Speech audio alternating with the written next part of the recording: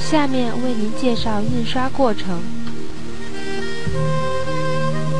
首先介绍水墨合一的方法。把水盒挂到机器墨滚下面，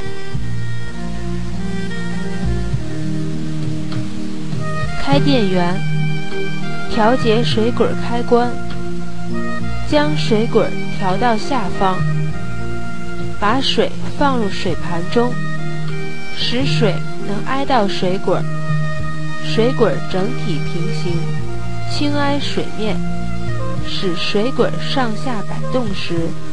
都能挨上墨滚和水。墨滚受水不均匀时，调节水滚下面螺丝。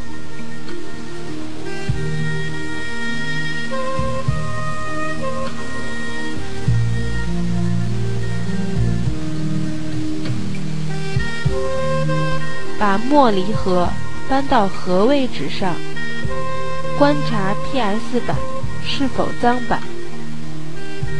如整面积脏板，再把调整水钮加大些。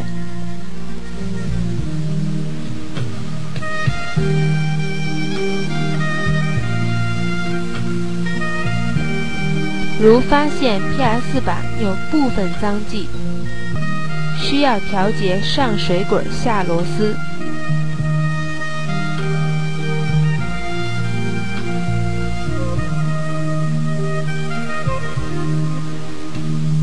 如板面还脏，再调整靠板滚定位块螺丝，使不脏板为宜。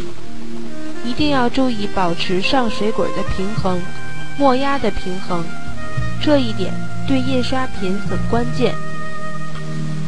把名片纸放入左右档规中，印刷离合推到合位置上。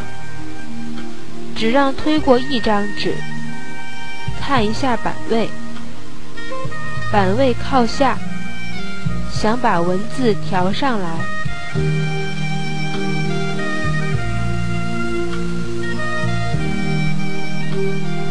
先把天地调节套固定轴螺丝松开，顺时针拧动天地钮，调好后拧紧固定轴螺丝。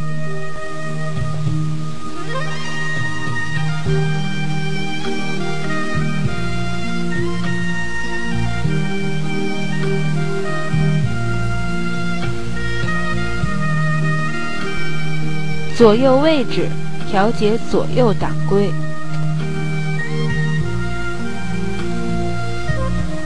调板斜，松开绷板螺丝，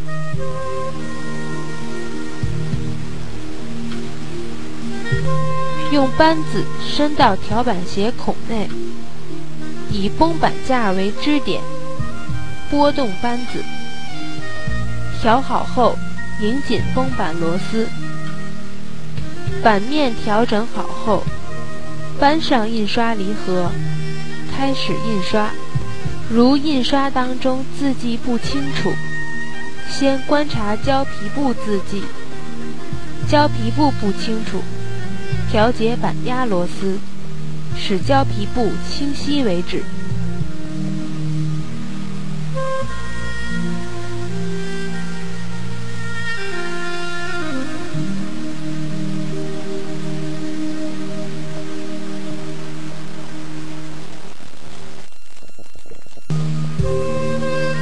如胶皮布上字迹清楚，印刷名片纸上字迹不清晰，那肯定是印压小。